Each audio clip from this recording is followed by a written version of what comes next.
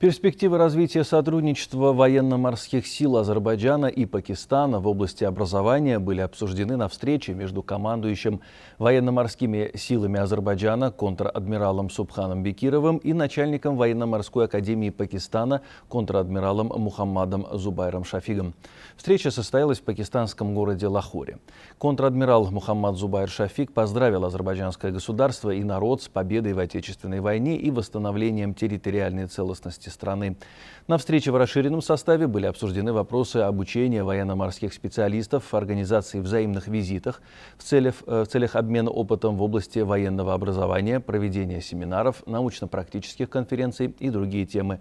В завершении встречи азербайджанская делегация ознакомилась с учебно-материальной базой Военно-морской академии Пакистана.